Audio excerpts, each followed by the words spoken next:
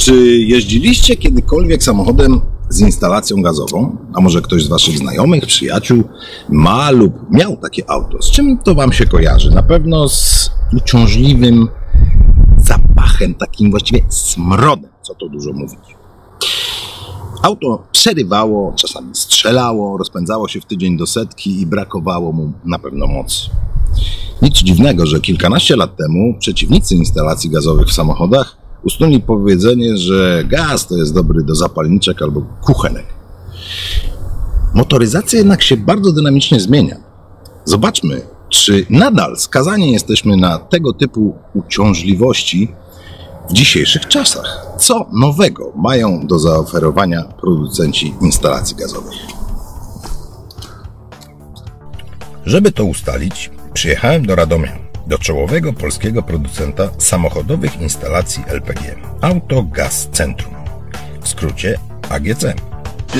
AGC jest producentem bardzo dobrze odbieranej przez rynek rodziny sterowników Zenit Pro.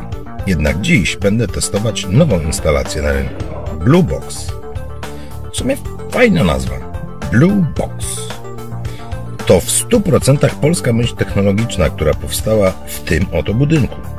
Została stworzona przez ekspertów tej branży.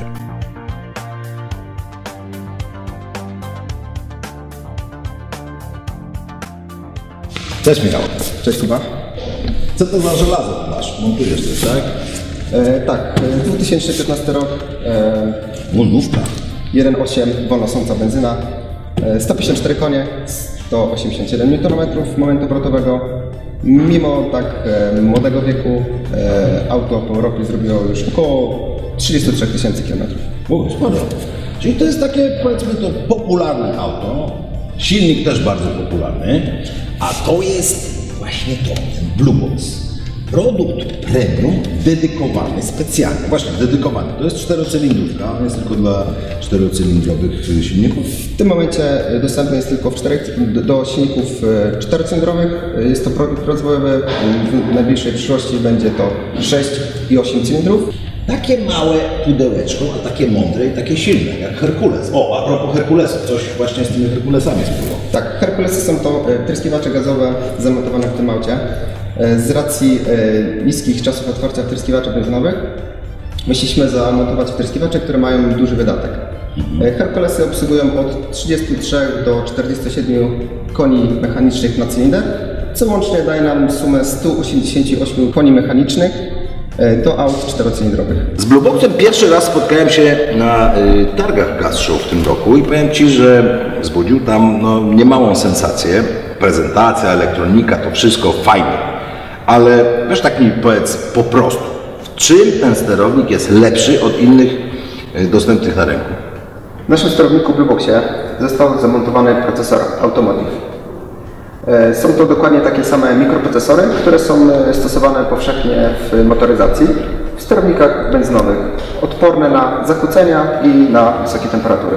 Obudowa jest lekka, mocna, odporna na wszystkie możliwe czynniki, które znajdują się tutaj podczas pracy samochodu. To Jest to dokładnie e, taki sam stop, jak na przykład obudowa filtra e, powietrza. No okej. A co się stanie na przykład, bo powiedziałeś, że odporna na te czynniki, ale yy, tu jest dużo elektroniki. Jeżeli na przykład w samochodzie yy, układ yy, jakiś elektryczny ma jakąś tam mini awarię, do, dochodzi do przeciążenia tego systemu. Jakieś bezpieczniki specjalne? Dokładnie. E, Centrala e, Blueboxa jest e, zabezpieczona bezpiecznikami polimerowymi. Dobrze, procesory, elektronika. No właśnie, bez elektroniki nie da się teraz żyć, ale z drugiej strony ona się psuje. Różne urządzenia w ogóle czasami nie mają gwarancji, ale mają bardzo krótki okres gwarancji. Jak to jest z, z Blueboxem? Jeżeli chodzi o Blueboxa, czyli serce całej instalacji, na sterownik mamy 5 lat gwarancji od daty produkcji. Chcemy po prostu robić takie produkty, które będą bezawaryjnie jeździły i cieszyły konsumentów. I to mnie cieszy. Okej, yy, tryskiwacze, Bluebox, wszystko, ale jak instalacja, to instalacja. Zbiornik. Jaki to jest zbiornik? I gdzie to jest ten zbiornik? Klasycznie bagarek. Tak, zbiornik znajduje się w wnęce e, po kole zapasowym. E, Z racji dużego samochodu tutaj mieści się zbiornik e, 70-litrowy.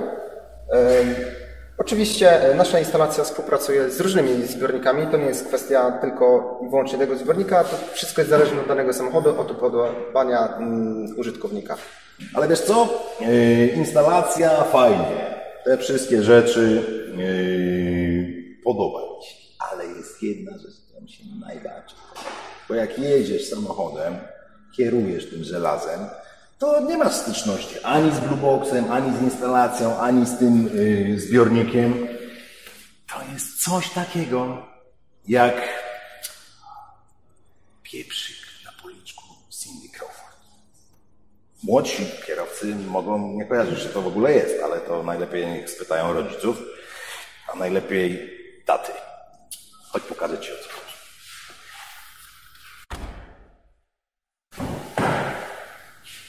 Tada!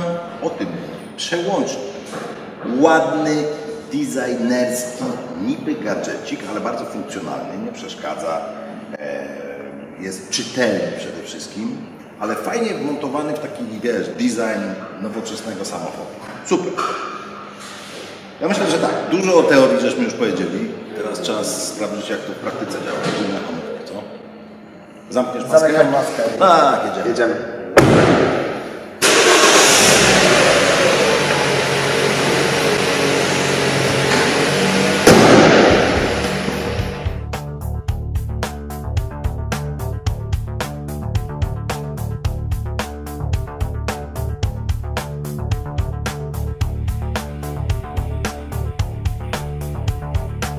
Muszę ustąpić miejsca Łukaszowi, operatorowi hamowni. Rozpędzi on teraz auto na rolkach, sprawdzi jego moc maksymalną na benzynie.